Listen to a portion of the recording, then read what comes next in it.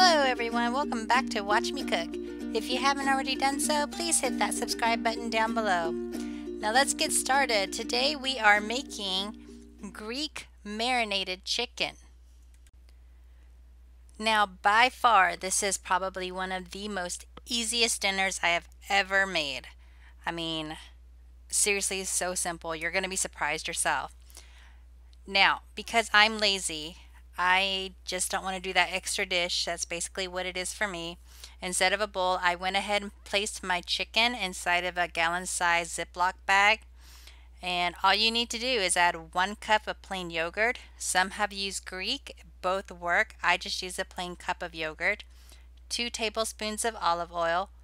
Four cloves of garlic that's minced. Now, if it's too garlicky for you, you don't have to use the four. You can use two instead half a tablespoon of dried oregano, one medium lemon is what they said, but really you just need half of that lemon and just juice it right into the bag, half a teaspoon of salt, some freshly cracked pepper, a quarter bunch of fresh parsley. For me, that was just like a handful.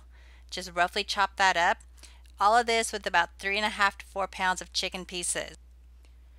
I used three large chicken breasts but you can use whatever cut you prefer. If you like thighs or drumsticks, that's totally fine. Um, the only difference will be the cooking time. Okay, so here's what not to do. If you see, we are ready to start marinating our chicken. We have all of our ingredients inside of our bag. We're to seal this right up and we're to massage it into the chicken. But you notice I didn't take the air out of it. So it's really hard to get in there. So make sure you take the air out of it. And the way that I do it is I simply just fold the bag over and then I'll seal it tightly and get out as much air as I possibly can. And you'll see the difference when I'm trying to manipulate everything inside of there that it's easier, much, much easier to massage it into the chicken. This is one of those dinners that you can prep ahead of time. If you need to, go ahead and make it the night before so that it's ready the next day whenever you are. I did mine earlier in the morning, so mine sat in the refrigerator for about a good eight hours. The great thing about this meal is that you get a few cooking options.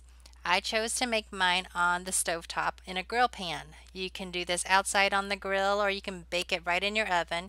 Just uh, preheat your oven to 375 before you start. Place it all inside of a large casserole dish and bake it for about 45 to 60 minutes. Since my chicken breasts were so large, I ended up cooking mine for about 12 minutes on each side. And that was dinner. That's it. Pretty easy, huh?